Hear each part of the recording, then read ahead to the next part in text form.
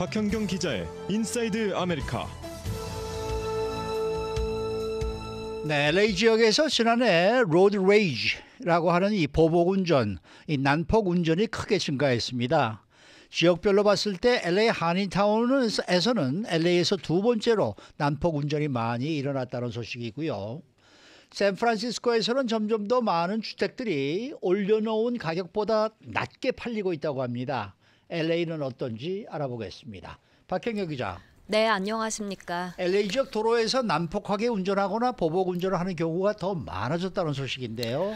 네, 최근 프리웨이에서 한 테슬라 운전자가 그 차에서 쇠파이프 갖고 내려서 다른 음. 차를 그 쇠파이프로 내려 찍는 그. 영상 보신 맞아요. 분들 많이 계실 네, 겁니다. 네. 이건 지난달 11일 글렌데일 지역의 2번 프리웨이에서 발생한 거였는데요. 이 남성 용의자는 결국 지난달 말에 체포됐습니다. 어, 이 남성 올해 36살의 네테니얼 레디맥으로 알고 보니 그랬던 게 한두 번이 아니었습니다. 어, 한 번 영상이 뜨고 나니까 그 사람한테 나도 당했다 이런 제보가 줄을 이었던 음, 겁니다. 네. LA 카운티 검찰은 검찰은 레디맥을 위협 4건, 폭행 4건, 기물 파, 뭐, 파손 한 건 등으로 기소했고요. 조지 게스콘 검사장은 이 사건을 reign of terror, 그러니까 공포 정치다라고 음, 음. 일컬었습니다. 가장 최근에 LA 지역에서 발생한 난폭 운전의 대표적인 사례를 전해드렸는데 네. 사실 이 밖에도 난폭 운전 소식은 자주 들려오는 편입니다. 그러면 LA 지역에서 난폭 운전이 얼마나 많이 일어나고 있었는지 구체적인 수치가 나온 게 있습니까? 네, 2022년 지난 한 해 동안 LA에서는 네. 난폭 운전이 모두 870건이나 발생했습니다. 와, 네. 통계 사이트 크로스타운이 오늘 LAPD 자료를 분석해서 이, 이같이 전했는데요. 크로스타운은 이 숫자가 LAPD에 보고된 사건만 반영할 뿐 실제 일어난 범죄는 더 많을 것이란 점 지적했습니다. 네, 이 870건이면은 한 달 평균 72건이 넘는 거고 하루에 두 건 이상이라는 얘기네요. 네, 그렇습니다. 어, 한달 뭐 평균 어, 72.5건이나 네. 되니까요. 네. 굉장히 많은 거죠. 그리고 월별로 봤을 때 6월과 7월에 난폭 운전이 가장 많이 발생했었는데요. 이때 각각 90건이 넘는 난폭 운전이 벌어졌습니다.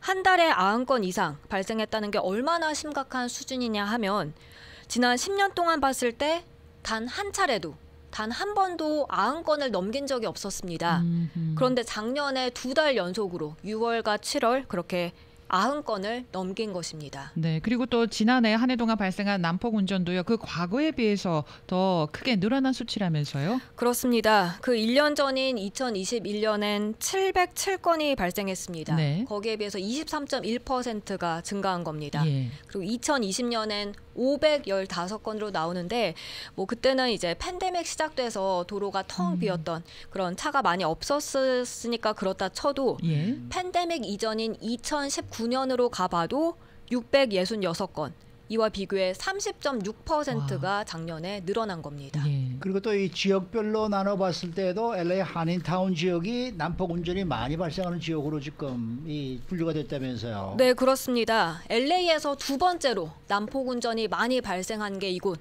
한인타운이었습니다.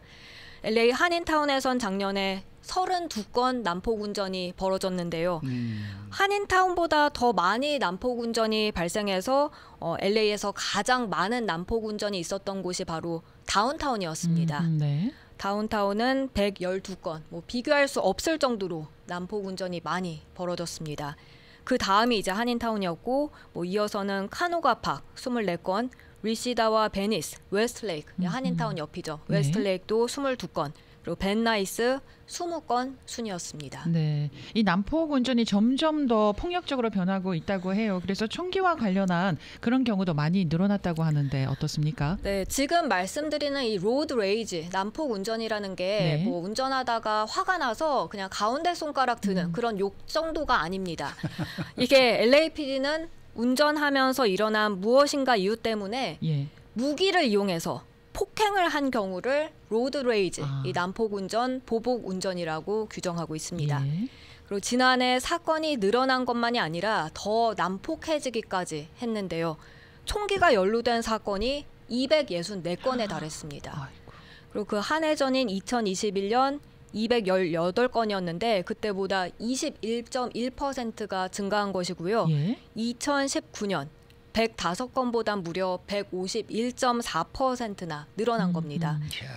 그리고 지난해 7월 12일에 사우스 LA 지역에서 그 105번 프리웨이에서 내리던 한 남성은 총에 맞아 숨지기까지 했습니다. 네. 당시 48살 칼로스 헤르난데스인데 누군가 쫓아가서 이 road rage로 인해서 총격을 가해 현장에서 사망했습니다. 아이고. 전그 free freeway에서 누군가가 앞에 끼어들었다고 그래가지고 그 차 앞으로 그냥 쌩 하고 가가지고 가면서 계속해서 브레이크를 팍팍 아, 밟는 거 네네. 봤어요. 저도 그런 경우는 가끔 보게 아, 됩니다. 그거 아주 위험하거든요. 네, 네, 저 같은 경우는 그 건널목에 음. 신호등 시간이 잘 안 맞으면은 횡단보도 건널 때 차가 좀 앞으로 갈 수가 있잖아요. 어, 그렇죠. 그럴 때 지나가는 사람이 제 차를 큰 손으로 이렇게 꽉 강하게 치고 팍 가죠. 치고 가고 어. 그런 경우는 또 있었어요. 맞아요. 네네. 음. 그래서 늘좀 하주마 조심하면서 무섭죠. 운전을 하거든요. 맞아요. 네.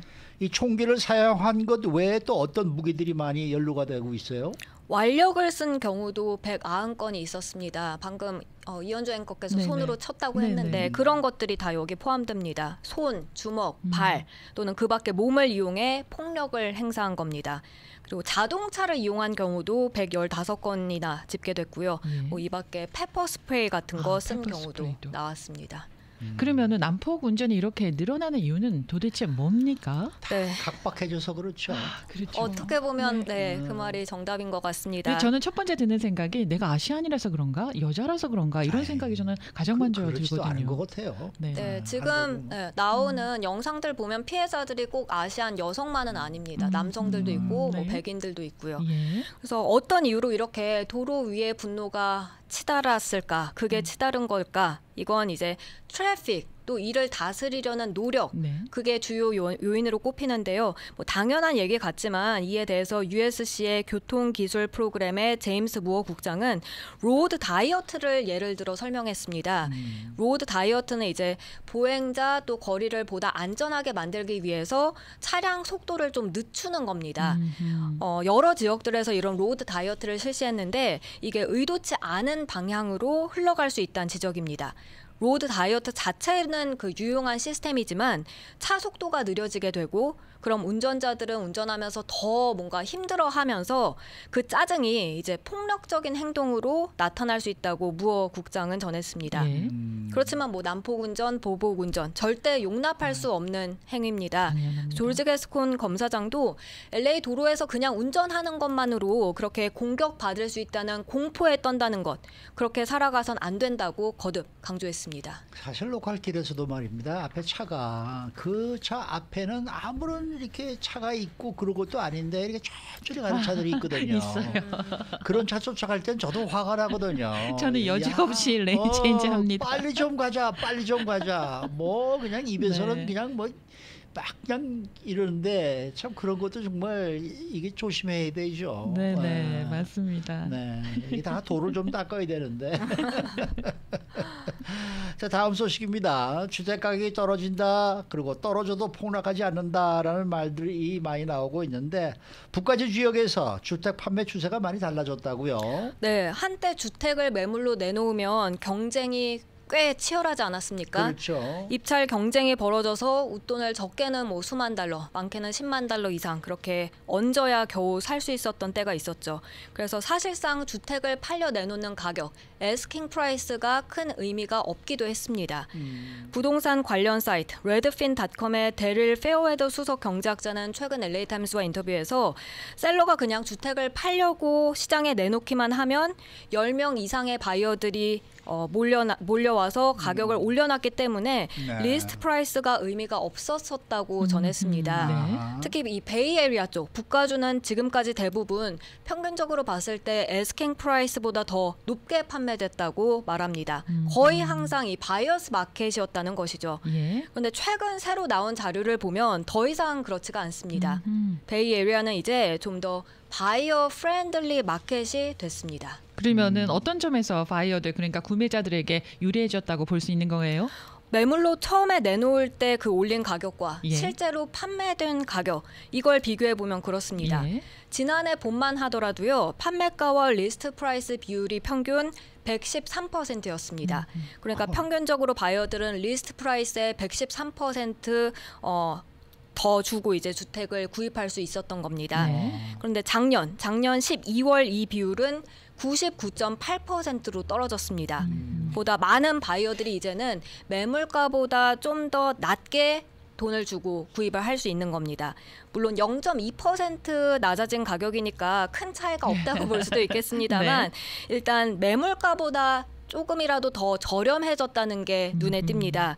레드핀에서는 2017년 이후 처음으로 이 비율이 100% 밑으로 떨어졌다고 합니다. 그러니까 지난해 100달러의 집을 어, 저 100만 달러의 집을 내놨으면은 113만 달러에 팔렸다는. 얘기인데 네. 요즘은 99만 8천 달러에 팔린다는 얘기네요. 어, 그렇습니다. 얘기에서. 네, 맞습니다. 음, LA도 이런 추세가 나타나는 겁니까? 네, 그렇습니다. LA는 작년 4월엔 보면 이 비율이 105%였습니다. 아, 그런데 이게 98.5%로 역시나 떨어졌습니다. 음, 이렇게 낮은 비율을 LA에서 나타냈던 게 2019년이었다고 하는데요. 네. 그러니까 LA가 어떻게 보면 어, 북가주보다 좀 더 빠르게 이런 추세가 진행되고 있는 게 아니냐 하는 그런 분석이 나오고 있습니다. 그럼 100만 달러에 내놓을 집을 103만 달러에 내놓으시면 되겠네. 그렇지 않습니까? 좋은 네. 아이디어십니다. 네. 수고 많으셨습니다. 네, 감사합니다. 박현경 기자였습니다.